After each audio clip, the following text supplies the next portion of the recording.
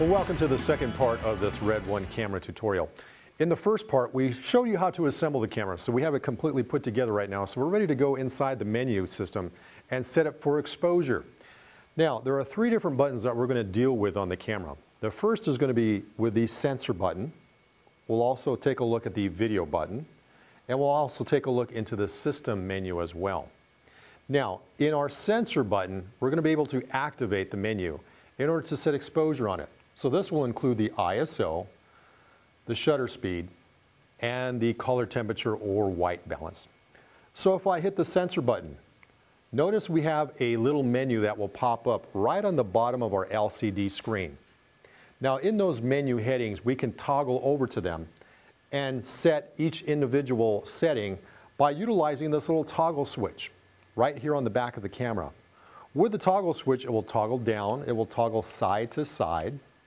Also, it will have the functionality where we can turn the knob and at each little click, there will be some adjustment that we will make once we're inside one of these menu designations.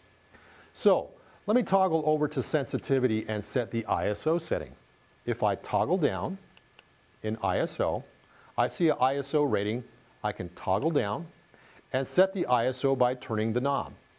We start off at ISO 100, and as I turn the knob to the right, you can see that it clicks in uh, smaller increments. And as the higher I go up with the ISO setting, it obviously changes the light sensitivity of the camera. Now, we have a max ISO rating of 2000 on the red one. So let me just back it down here temporarily down into a range, let's say about 400. Once we're done, we can just simply either toggle up on the switch, that will take us back to that previous menu, and now we can go to another setting and make an adjustment. So let me head over to color temperature now. Notice it gets highlighted as I toggle over. I can toggle down, and I have several different settings that I can choose from at this point. We have an auto white balance setting, one for tungsten lighting, one for daylight, and then a manual white balance setting. Here in auto white balance, if I simply toggle down, what the camera does, it will read and sense the light source that we're in, and it will give you a color temperature rating here on the LCD. If I toggle over to the tungsten setting and toggle down, it will automatically set it to 3200 Kelvin, which is pretty typical for a studio type of setup. If I toggle over to daylight and then toggle down, it will give us a preset of 5600 Kelvin, which is normally what we'd use for outside shooting. Now if I toggle over to the right to manual white balance and then toggle down, I can now manually set the color temperature in 100 degree increments. So when I turn the knob, each degree goes up by 100 points. As you can see, the changes being made on the LCD. This way you can customize your color temperature on the camera. So let me toggle back up, get to the main menu, toggle back up, and those settings are now in place with the ISO and the color temperature. Now let's say I want to change the shutter speed. I will again hit the sensor button. I can toggle over to shutter, toggle down, toggle down where it says speed, and now by me again turning the knob, and it has a little click movement to it, you can see that each click will change the shutter speed on the camera. Shutter speed in this case will continue to rise as we continue to click through that knob and it will max out at 1 two-thousandth of a second. Let me go back the other way where now I'm turning that knob to the left. And again, you can see the increments changing with each click that I make with that toggle knob.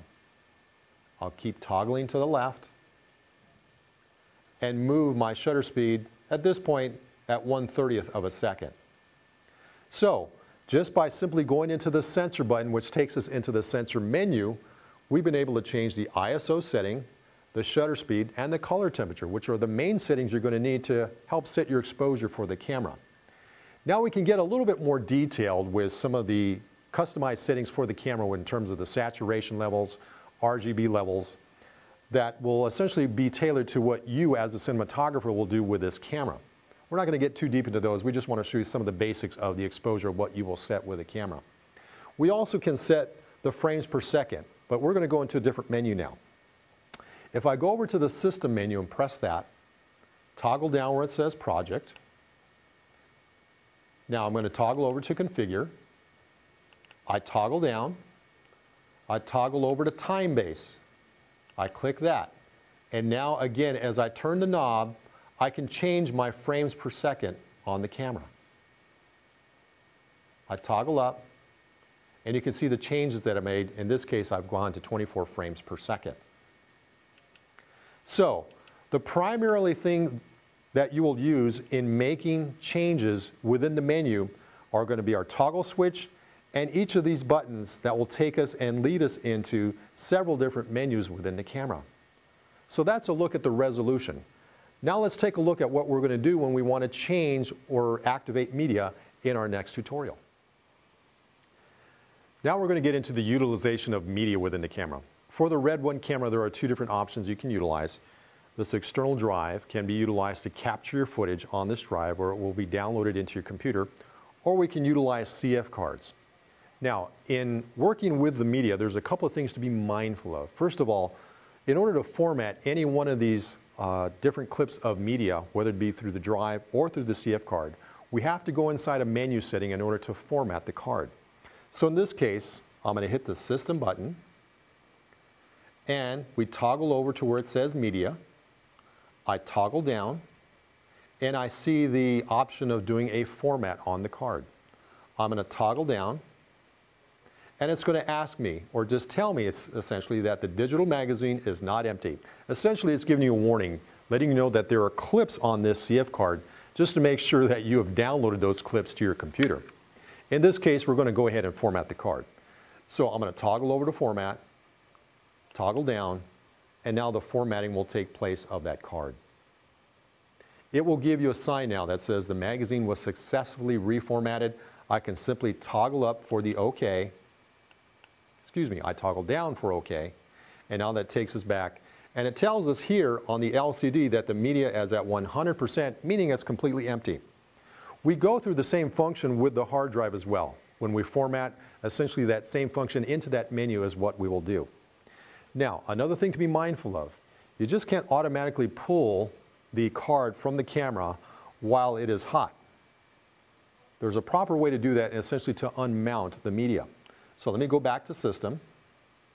I toggle over to Media, toggle down, and now I toggle over to the left where it says Unmount. I now take the toggle switch, toggle down. When the time code disappears from the LCD, I can simply pull out that CF card and now I can safely put another one into it in order to start recording once again. In this case, we'll take this card that we recorded clips on and we'll start downloading those into our computer. Now, in this certain configuration right now, we can take a CF card, place it in, and we're ready for recording. Now we've already gone ahead and connected our XLR to the inputs here on the Red One camera. So how do we activate that audio? Well, we got to go into the menu here. Let's go to the System button and activate. We now toggle to the left where it says Sound, I now toggle down, and now I have a couple of menu items that I need to be mindful of.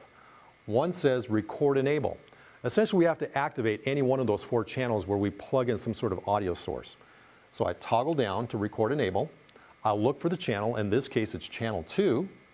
Toggle to the right, toggle to the down, and you see it has a check mark there. Now, very important factor here. Over to the right of the side of the LCD, it has an input type. We either have microphone or line input. In this case, we got a straight microphone input. So we're going to toggle over, actually just essentially turn the knob to where it says microphone. If you're using some sort of audio mixer or taking an audio feed from a mixer, you will utilize line input. Now let me toggle back up, toggle back over to the right to where it says 48V, because now we got to send phantom power to this condenser mic. So I toggle over to channel 2, toggle and check. I can now hit my exit button and take us to the main menu, or actually remove the main menu. And as you can see as I'm talking here, that mic has now been enabled because we do have to send phantom power from the camera in order to power that condenser boom mic.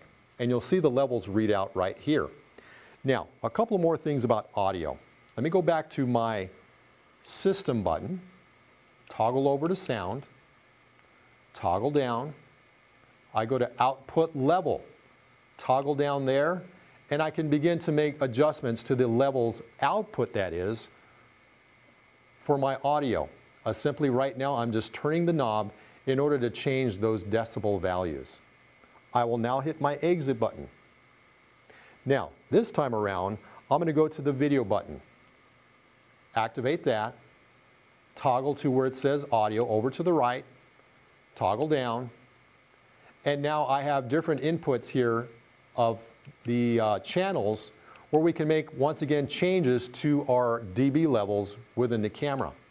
I can also change the headphones here, where we have a headphone jack, and we can listen to either left or right track, or a combination of left and right as a mix. So as far as simple audio setup, that's what you're going to do for the Red One camera. Now in most professional settings, you may have an audio mixer that goes in between the camera as well as in between the camera and going to the microphone.